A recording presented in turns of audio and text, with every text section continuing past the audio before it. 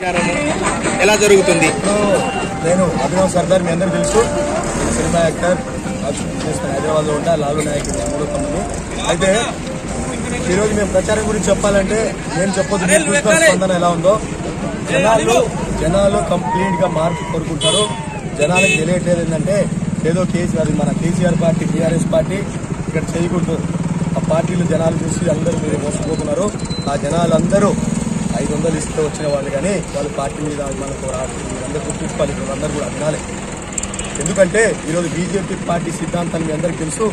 ఒక్క రూపాయి ఇవ్వకుండా కార్యకర్త ముందుకు వస్తాడు. వాళ్ళ పనులు వాళ్ళే చేసుకుంటారు. వాళ్ళ పెట్రోల్ వాళ్ళు పోయించుకుంటారు. వాళ్ళు తినడానికి కూడా డబ్బులు వాళ్ళే పెట్టుకుంటారు. మేము కూడా మీలాగా డబ్బులు ఇస్తే మొత్తం దేవరకొండ అంతా గదిలో వస్తుంది. మాకొద్దు. మాకు నిజాయితీగా రావాలి. అందరు కష్టపడి రావాలి. అందరికీ తెలియాలి కష్టం ఏంటో.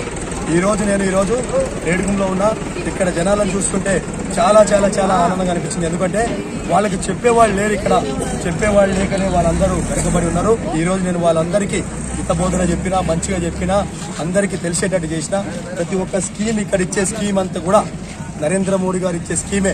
కానీ జనాలు ఊర్లలో ఏం చెప్పారంటే కేసీఆర్ ఇస్తున్నాడు ఈ స్కీమ్లు అని చెప్పి వాళ్ళని మోసం చేస్తున్నారు. మీ అందరికీ చెప్తున్న మీడియా మీడియా మిత్రులందరికీ తెలియజేసేటట్టు చేయండి.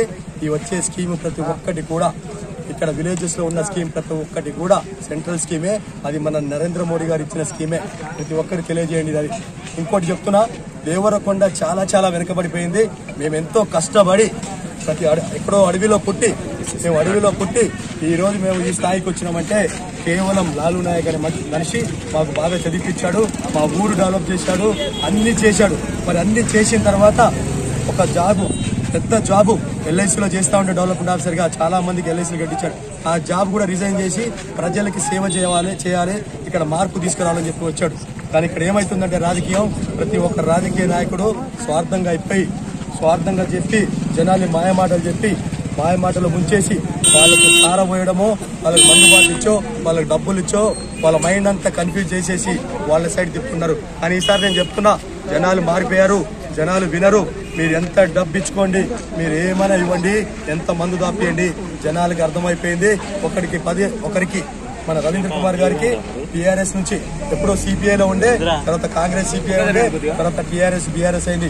అంటే మూడు పార్టీలు మారినట్టు ఆయన. అంటే పదిహేను సంవత్సరాలు చేశారు. మరి పదిహేను సంవత్సరాల్లో ఆ నాయకుడు ఒక బస్ స్టాండ్ కూడా చేంజ్ చేయలేకపోయారు. మరి ఇంకేం చేశారు? ఒక జిల్లా గురించి కూడా ఎప్పుడు ఒక విషయం కూడా చెప్పలే ఒక అడగలే ఎవరికి మరి ఈ రోజు ఆయన ఎన్ని ఊర్లలో ఎందుకు ఓట్లాడుతున్నారో నాకు ఇంత అర్థం కావట్లేదు అలాగే కాంగ్రెస్లో గారు ఉన్నప్పుడు కూడా ఒక్క పని కూడా చేయలే. ఆయన అందరికీ తెలుసు బాలునాయక్ ఏంటి ఏం చేస్తారనేది ప్రతి ఒక్కరికి తెలుసు. ఇప్పుడు నేను చూస్తున్నా ప్రతి ఒక్కరు ఏం మాట్లాడుతున్నారంటే రవీంద్ర కుమార్ వెళ్ళి బాలునాయక్ అంటారు అరే నువ్వు బ్యాంకు దోపిడీలు చేసినవురా అంటాడు. నాకు తెలియదు ఈ విషయం. ఇవన్నీ నేను వీడియోలు చూస్తే నాకు అర్థమవుతుంది.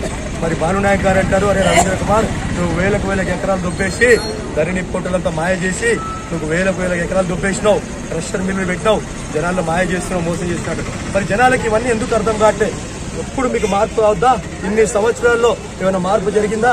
మరి మీరు ఎందుకు ఆలోచించట్లేదు మీరు ఒక పార్టీకి ఎందుకు పరిమితం అయిపోతారు? మీరు మనిషిని ఎందుకు చూడట్లేదు? మీరు ఒక మనిషి ఎలాంటి వాడు? మనకు నడిపించే నాయకుడు ఎలాంటి వాడు అని చెప్పి మీరు ఎందుకు ఓట్లేయట్లేదు మీరు మారాలి ఫస్ట్.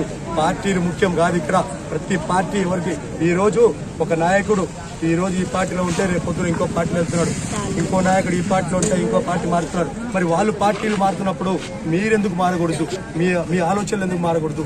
ఒక్కసారి దేవరకొండ ఇలా వెనకబడి ఉండిపోవడానికి కారణం ఇక్కడ రూల్ చేస్తున్న నాయకులే కంప్లీట్గా డామేజ్ చేసింది వాళ్ళే కాబట్టి ఒక మంచి చదువుకున్న వ్యక్తి ఎన్నో సంవత్సరాల నుంచి పోరాడుతున్నాడు. కంప్లీట్గా సెటిల్ అయిన ఫ్యామిలీ మంచి మంచి ఉద్యోగాలు చేసుకుంటాం మేము. మాకు అవసరం లేదు. మేము వచ్చింది కేవలం ఒక మార్పు తీసుకొచ్చి మా పేరు ఎప్పటికి ఉండిపోయేటట్టు వచ్చాము ఇక్కడ కాబట్టి మీరందరూ ఆలోచించి డబ్బులకు లొంగకుండా మందుకు లొంగకుండా ఈసారి ఆలోచించి ఒక మంచి నాయకుడిని అనుకోండి యూత్ అందరు కూడా మాతో ఉన్నారు. ఎందుకంటే ప్రజా ప్రజా జనసేన అధ్యక్షులు పవన్ కళ్యాణ్ గారు అందరూ కలిసి చేస్తున్నాం. మీ అందరికీ తెలుసు ఇది జనసేన బలపరిచిన పార్టీ బీజేపీ. సో అందరికి కూడా ఇక్కడ ఉన్న యువకులందరూ ముందుకు రావాలి. యువకులు ముందుకొచ్చి ఒక్కొక్కరు ఒక సైన్యం లాగా మన ఊర్లో వెళ్ళి చెప్తేనే మన ఇంట్లో చెప్పాలి పక్క ఊర్లో చెప్పాలి అందరికీ చెప్పాలి. ఫలానా నాయకుడు ఇలాంటి వాడు అలాంటి ఫ్యామిలీ ఇలాంటిది కాబట్టి మన అందరం వాళ్ళకి ఈసారి సపోర్ట్ చేసి కంప్లీట్గా మార్పు తీసుకొద్దామని చెప్పి మీ అందరికి కూడా నేను అడుగుతున్నా. ఈసారి మనం కంపల్సరీ బీజేపీ పవర్లోకి వస్తుంది. మీ అందరికీ చెప్తున్నా కంపల్సరీగా ఫస్ట్ ఫస్ట్ చేసే పని దేవరకొండ జిల్లా చేయడం దాని తర్వాత నక్కలగండి ప్రాజెక్ట్ని ఓపెన్ చేయించడం అలాగే రైల్వే నిర్మాణం తీసుకురావడం ఇవన్నీ కూడా ప్రతి ఊర్లో తండాల్లో కంపల్సరీ ఒక గుడి కట్టిస్తాం మేము. అలాగే ప్రతి ఊర్లో కూడా మన యువకులకి చదువుకోవడానికి ఒక లైబ్రరీ ఏర్పాటు చేస్తామని. అంటే ఇవన్నీ మేము మంచి కార్యక్రమాలు చేస్తాం కాబట్టి ఏ నాయకుడు కూడా మీకు ఇప్పుడు చెప్పారా ఇవన్నీ చేస్తామని వారు చెప్పరు. ఏం చెప్తున్నారంటే ఇప్పుడు ఆయన్ని తిట్టుకోవడం ఈయన ఆయన్ని తిట్టుకోవడం ఆయన ఈయన తిట్టుకోవడం ఇదే నడుస్తుంది. మీరందరూ గమనించండి. ఎవరైనా డెవలప్మెంట్ గురించి మాట్లాడుతున్నారా? నేను ఇది చేస్తాను నేను అది చేస్తాను ఏమని చెప్తున్నారా?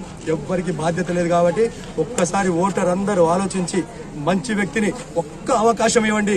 చేసి డెవలప్మెంట్ చేసి మీ అందరికి చూపిస్తామని చెప్పి నేను లాలు నాయక్ తరఫున మా అన్న గారి తరఫున కంపల్సరీ ఇంకో విషయం కూడా చెప్తున్నా. నేను యువకులందరికీ చెప్పిన మీరందరూ బాగుపడాలంటే హైదరాబాద్లో లో మీరుండి చదువుకోవాలంటే ఒక గవర్నమెంట్ జాబ్కి దీనికి ప్రిపేర్ అవ్వాలంటే పది పదిహేను వేలు అవుతుంది. నేను కష్టపడి చదువుకొని వచ్చిన కాబట్టి వాళ్ళ కష్టాలు తెలుసు కాబట్టి నేను వీళ్ళందరికీ ఒక ఫ్యూచర్లో మంచి లీడర్లు రావాలి ఒక ఫ్యూచర్లో ఒక మంచి జాబ్ రావాలి. కాబట్టి నా తరపున నేను వీళ్ళందరి కోసం యువకుల కోసం చెప్తున్నా ఒక హాస్టల్ కట్టిస్తా నా సొంత డబ్బుతోటి లేదంటే ఎన్జిఓ పెడతా ఏదో ఒకటి చేస్తా. మీ అందరి కోసం ఒక హాస్టల్ కట్టించి మంచి ఫుడ్ అక్కడ ఫ్రీ బుక్స్ ఇచ్చి ఒక్క రూపాయి కూడా మీకు ఖర్చు లేకుండా చేస్తా అని చెప్పి మీ అందరికి తెలియజేస్తున్నా. ఇక్కడ యువకులందరూ గమనించాలి మీకు నిజంగా బాగుపడాలంటే మాతో రండి మేము డెవలప్మెంట్ చేసి చూపిస్తామని చెప్పి మీ అందరికీ చెప్తున్నా. ఈ ఒక్కసారి ఆలోచించి ఈ ఒక్కసారి మనము మోసపోకుండా మంచి నాయకుని ఎన్నుకుందామని చెప్పి ప్రజలందరికీ నేను కోరుతున్నా. కమలం పువ్వు గుర్తుకే! కమలం పువ్వు గుర్తుకే! లాలు నాయక్ గారి నాయకత్వం! లాలు నాయక్ గారి నాయకత్వం! Thank you